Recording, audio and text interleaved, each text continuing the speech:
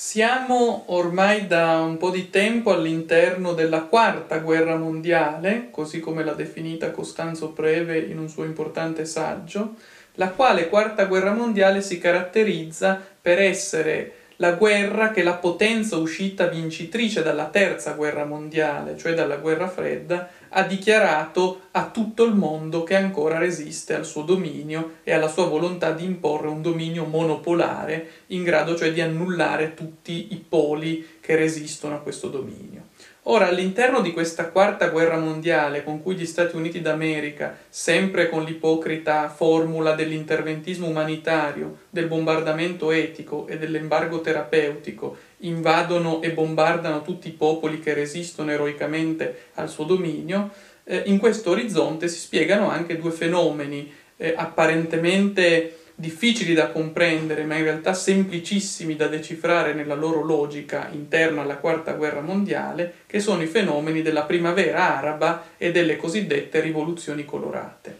Partiamo dalla primavera araba. La primavera araba è consistita, sia pure con differenti eh, differenziazioni decisive a seconda del paese in questione, la Tunisia non è l'Egitto e non è la Libia, ad ogni modo, nella sua logica generale di sviluppo, la primavera araba è consistita in un maestoso processo controrivoluzionario con cui i paesi, alcuni paesi eh, arabi, sono passati sotto il dominio della mondializzazione capitalistica, eh, favoriti da eh, rivoluzioni gestite apparentemente dal popolo, ma in realtà artatamente pilotate dalla longa manus statunitense, cioè appunto quelle forme di nazionalismo arabo, si pensi al nassirismo egiziano o al gheddafismo libico, che un tempo tramite la dittatura militare o comunque tramite le forze militari cercavano l'accesso diretto al capitalismo e al rapporto con le oligarchie finanziarie, oggi hanno preso a cercare questo rapporto senza più la mediazione dei nazionalismi e delle giunte militari, ma in maniera diretta. Cioè appunto le rivoluzioni colorate sono servite non certo a portare la libertà a questi popoli, ma a favorire il loro ingresso, armi e bagagli, nel processo della mondializzazione capitalistica per cui appunto non si tratta tanto, con buona pace di Alain Badiou, di un risveglio della storia, ma si tratta semmai, con la sintassi gramsciana, di un ristagno della storia, cioè un ristagno della storia post 1989 che tende ovunque a produrre sempre lo stesso scenario, che è quello dell'invasione, ripeto, del mondo da parte della forma merce capitalistica guidata dalla potenza politica statunitense, che è il modo in cui sul piano politico opera l'invasione del mondo da parte della forma merce. La primavera araba è, nella sua essenza, questo fenomeno. Non bisogna fare concessioni al politicamente corretto, né bisogna cadere nell'illusione che ogni qualvolta il popolo scende in piazza si ha una rivoluzione. La storia ci insegna che la Vandea, ad esempio, o il popolo a Napoli nel 1799 non erano per nulla rivoluzionari, erano anzi fenomeni controrivoluzionari. Come controrivoluzionario fu anche il movimento post 1989 con cui fu sbaraccato eh, il sistema del gigante sovietico ingloriosamente crollato e rimasto sepolto sotto le macerie del muro di Berlino. Potremmo utilizzare questa analogia che è euristicamente feconda, cioè le rivoluzioni arabe sono l'equivalente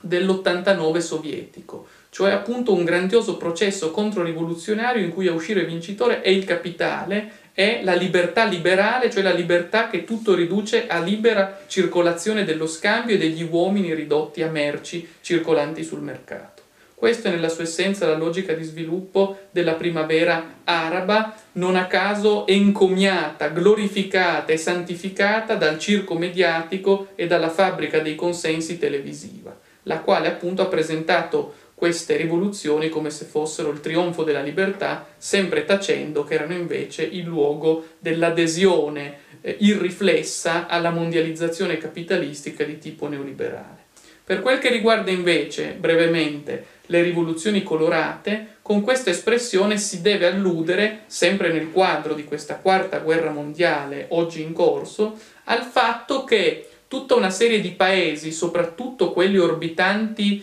eh, al, intorno alla ex Unione Sovietica, si pensi all'Ucraina ad esempio, sono paesi che eh, gli Stati Uniti d'America devono inglobare nel loro sistema eh, globalitario, devono inglobare nel loro sistema di ordine mondiale e lo fanno abbattendo di volta in volta il singolo dittatore di turno, il singolo politico che è al potere in quei paesi e lo fanno in forme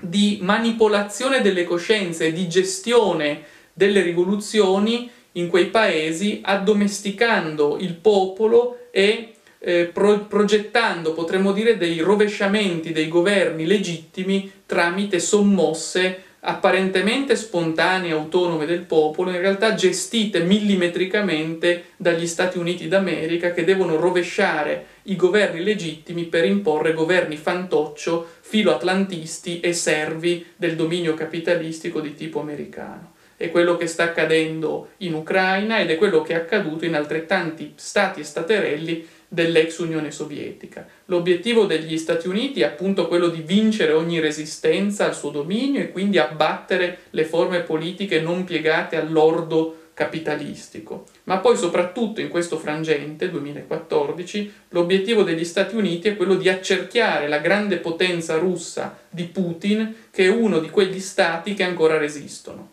è uno di quegli stati che ancora resistono al dominio monopolare del mondo statunitense e che quindi gli Stati Uniti hanno come obiettivo primario quello di distruggerlo, imponendo anche lì il proprio dominio. Per questo stanno accerchiando la Russia di Putin, presentando Putin come un terribile dittatore da abbattere e in questo modo preparando tramite l'addomesticamento dell'opinione pubblica e l'utilizzo della manipolazione organizzata la coscienza occidentale al bombardamento che eh, sarà prossimo per la Russia, a meno che essa non continui a fare come sta facendo una resistenza eroica alle invasioni, anzitutto simboliche, eh, ideali da parte degli Stati Uniti. Questo è lo scenario della Quarta Guerra Mondiale ed è bene ricollocare all'interno di questa mappa tutti i microconflitti che dal 1989 ad oggi sono scoppiati con incredibile virulenza dopo la guerra fredda che, era servita se non altro intanto a tenere aperta la pluralità, un mondo multipolare, ma poi anche a tenere congelati i conflitti reali che pur con, con, alcuni punti caldi tipo la Corea o il Vietnam erano stati congelati dalla guerra fredda e che sono oggi riesplosi con inaudita virulenza nel mondo post 1989.